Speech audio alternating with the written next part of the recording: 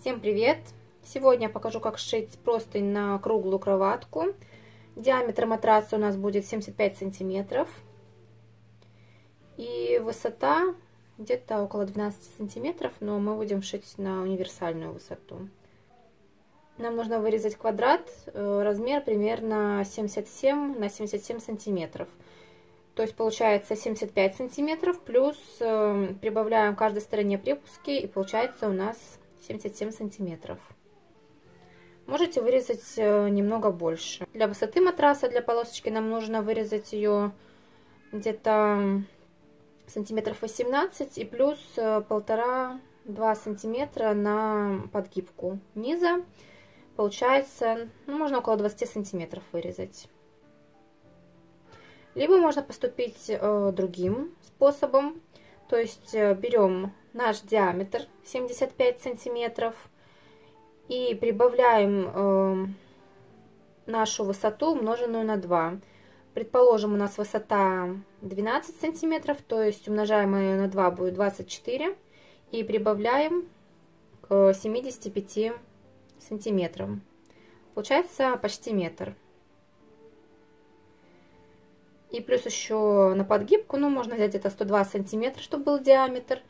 И мы под, подгибаем только край с резинкой. И все, получается у нас такая круглая простынь. Я буду показывать, как шить вторым способом. Как я уже сказала, вырезаем квадрат 77 на 77 сантиметров. И полоска у нас будет длиной больше 2 метров, ну где-то может 2,20 Лучше вырезать с запасом, если она будет, к примеру, 2,30 или, ну, может, 2,5 метра. Лишнее мы все равно срежем. Высота у меня будет 20 сантиметров. После того, когда мы вырезали детали, нам наш квадратик, из нашего квадратика нужно вырезать ровный круг. Для этого мы складываем наш квадратик э, по диагонали. Такой вот треугольник. Один раз лицом вовнутрь, лицо к лицу получается. И второй раз.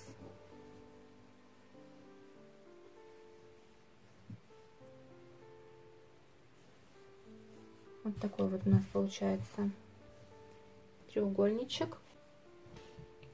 И теперь мы делим наши 77 с половиной на 2. Получаем 38 с половиной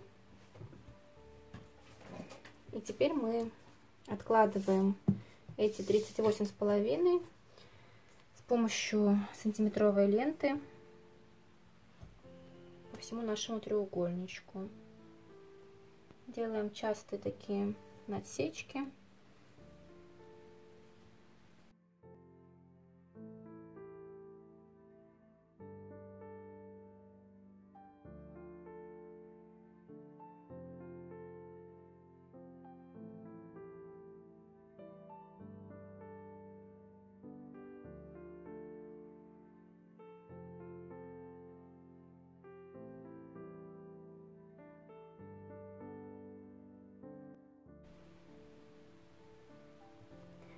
Если вы, допустим, делаете несколько простыней, тогда легче сделать такую заготовку из бумаги, то есть вырезать квадратик э, из бумаги 38,5 на 38,5 и вот таким же образом сделать закругление и будет намного проще потом приложить эту заготовку на простынь и вырезать.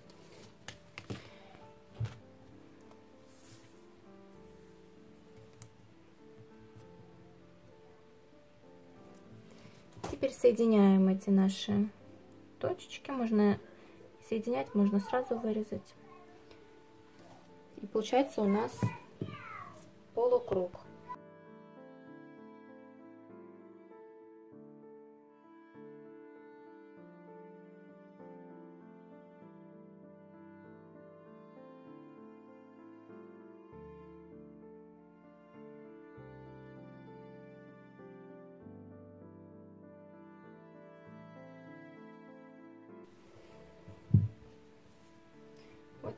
Получилась у нас деталь. В итоге у нас получается ровный, аккуратный кружочек. Вот эта полосочка, если у вас э, она не получается из одной ткани. У меня просто ширина ткани 2,5 метра, поэтому я вырезала одной деталью.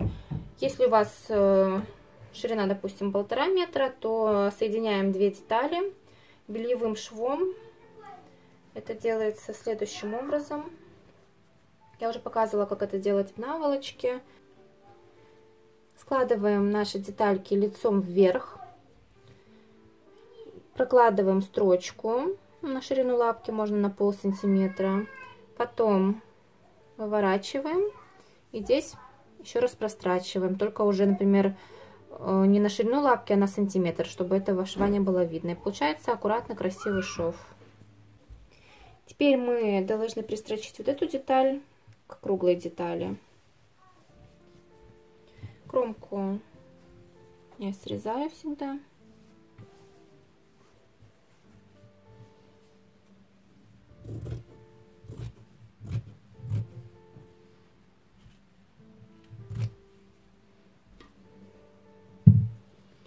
Вы можете приколоть, но мне кажется легче, мне легче так шить. Лицом к лицу начинаем строчить. Где-то мы сантиметр, полтора оставляем, ну, где-то сантиметр оставляем. И пристрачиваем по всему кругу нашу просто необычной строчкой сначала. Потом э, покажу, как срезать лишнее.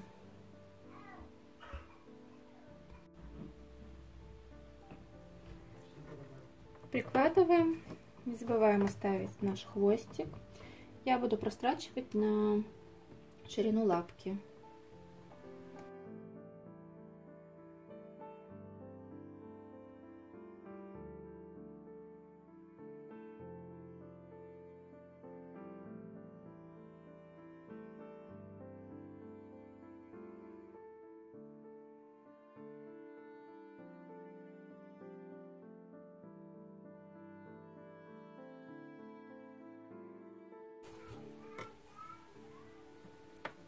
Вот этот низ мы так вот чуть-чуть отгибаем на расстояние нашего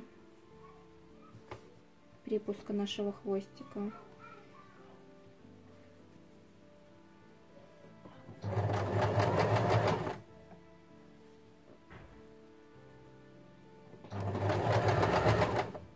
Почти до конца тоже оставляю где-то сантиметр. Делаю закрепку.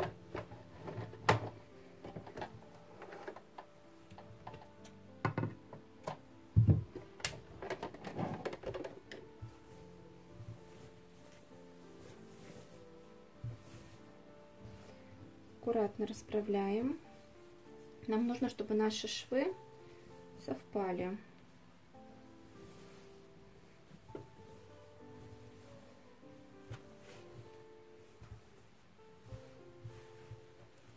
так вот раскладываем. Вот этот длинный наш хвостик мы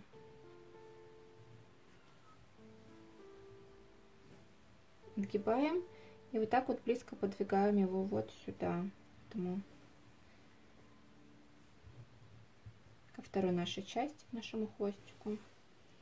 Вот так вот я пригладила, чтобы видно было, где наша линия. И отрезаем тоже где-то на сантиметр.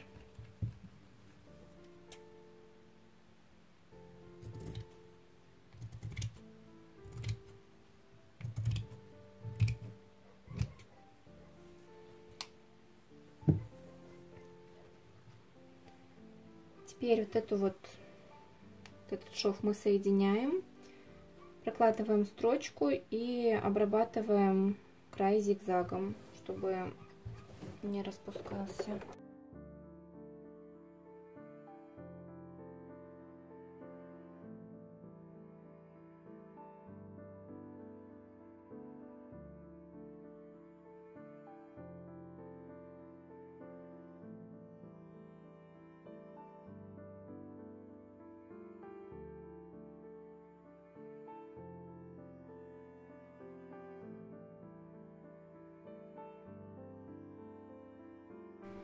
Я буду обрабатывать строчкой, имитирующую зигзаг, ой, оверлок, либо можно зигзагом обработать.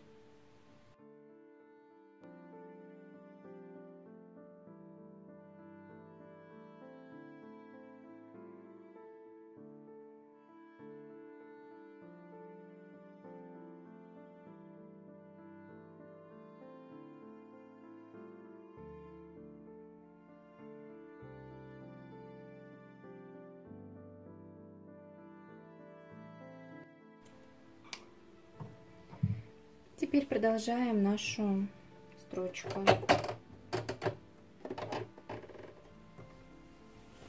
Которая по кругу.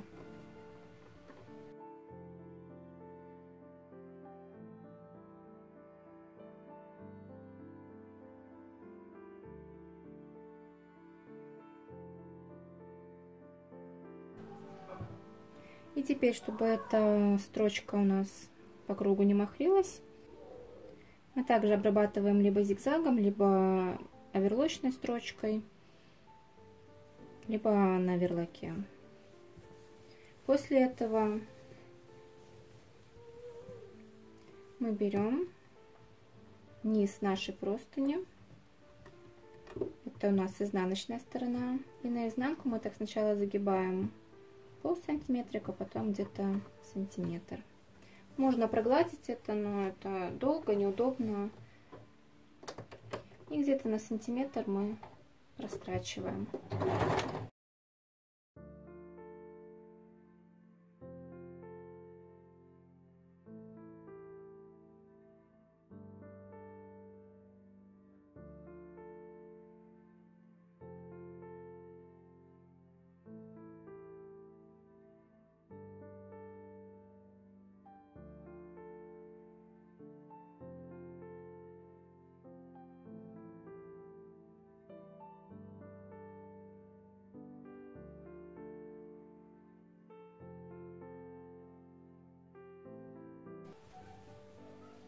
растрачиваем. так по всему периметру. Потом мы в конце, тут где начинали, мы не дострачиваем где-то сантиметрик, чтобы потом ставить резинку. Вот я обработала краешек, я его обработала на верлаке. Вот так вот будет выглядеть обработанный шов зигзагом. Тоже аккуратно, не видно. Теперь нам нужно в нашу резинку вставить, в наш простынь ставить резинку. Мы складываем нашу простынку аккуратно пополам. И измеряем вот этот наш полукруг. У меня он получился 120 сантиметров. Такой длины мы отрезаем резинку. Берем нашу резиночку. Я на оба конца одеваю булавку чтобы на всякий случай, если второй конец проскочит, чтобы можно было вытащить. И продеваем через наше отверстие.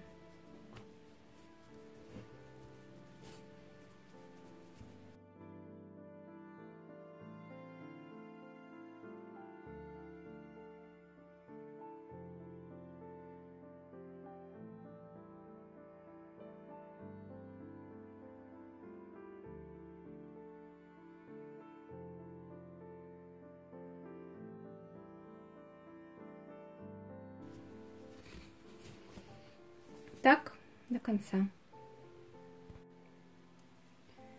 Теперь снимаем булавочки и аккуратно зашиваем наш шов либо вручную, либо на швейной машинке. Когда мы зашили, расправляем нашу резинку, ровненько распределяем по всему, по всей простыне.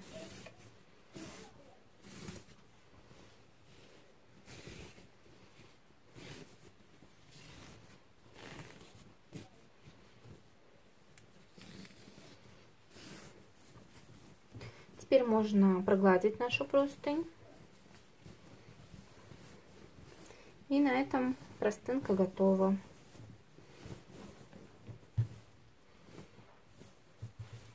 Такая вот.